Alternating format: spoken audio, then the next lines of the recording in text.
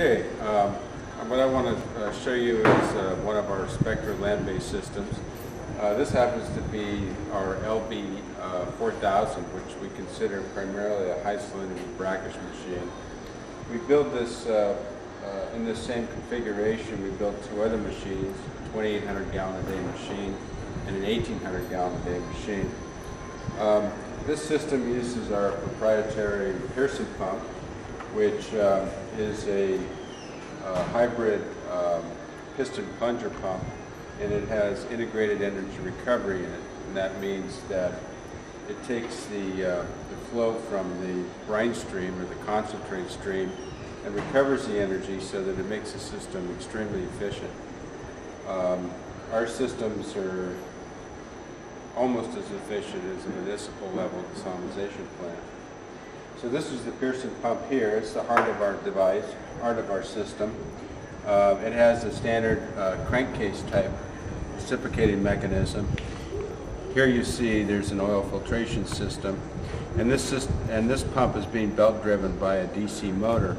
This system is designed to be used for a solar application, this particular unit is designed to be used for a solar application, so this is a 48 volt DC unit. We build this unit also in 24 volt DC, and we have um, uh, 110 and 220 versions available also. Um, so you can see, uh, as I mentioned, it's a 4,000 gallon a day system. It uses four 40 inch membranes. You can see the membranes are down at the bottom here. This is uh, our pressure vessel that we build ourselves. It's very robust, uses PVC end caps. Um, the uh, pre-filtration is uh, pretty substantial. As you can see, these are large, uh, high-capacity filters, and there are two in parallel, two 5 micron in parallel and two 20 micron in parallel. So we have a considerable amount of filtration capability here. Um, this is a carbon filter or activated charcoal filter, which um, is used as post-treatment, and it takes any any odor or any taste out of the product water itself. Behind uh, the carbon filter, you can see there's a tank located here.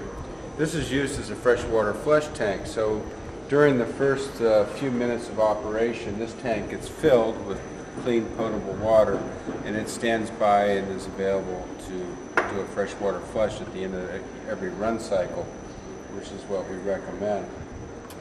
Uh, this is the control box here. This this contains our um, our motor controller here, which allows us to control the speed of the DC motor.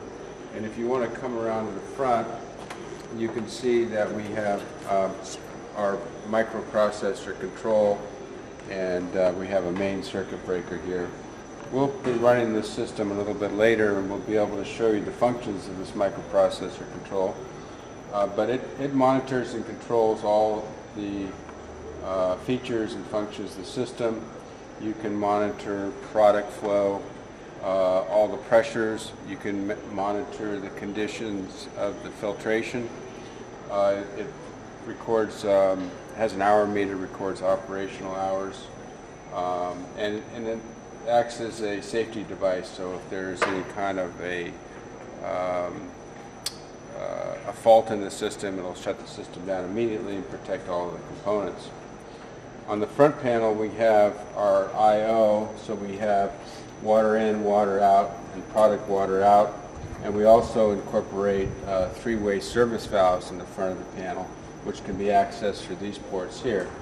We believe that it makes sense to build this into the system to make it easy to maintain and, and um, uh, clean the system if, if need be.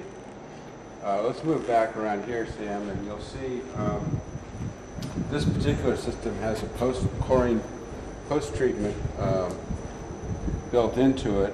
So this tank will hold a concentrated chlorine uh, solution, and we have a metering pump here that will meter the water into the product flow as it exits the machine. Um, I think that pretty much covers most of the major features of the system. This system also has a diversion valve uh, that's controlled by our microprocessor control And uh, that means that when the product water, when the machine first starts up and the product water is not of acceptable quality, it gets diverted and gets uh, rejected from the machine. And as soon as the water gets to be good potable water, then it gets diverted into, into the tank.